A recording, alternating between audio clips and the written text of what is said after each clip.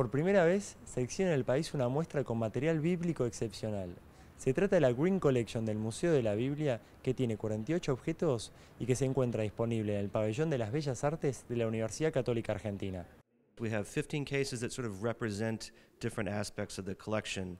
Uh, we tried to just highlight things that, uh, that we thought were interesting, that were visually appealing, but that also showed the breadth and the depth of, of the collection itself. I think these are some of the finest things that we have. The, the collection is quite large, and we have a number of traveling exhibits, but we brought, I think, some things here that are, for me personally, some of my favorite objects, uh, things that are, that are quite rare and unique and interesting. You know, we only have so much space, so we just, I thought I would highlight with that one object.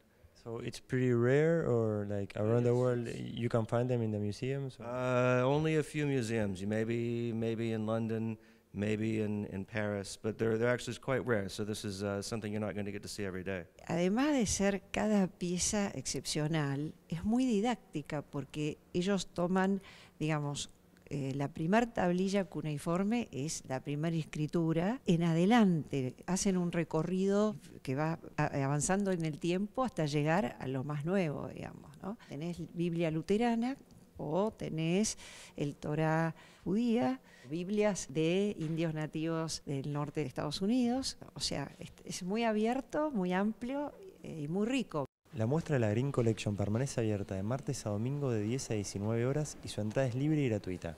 Nosotros seguimos en Buenos Aires, seguimos por la ciudad.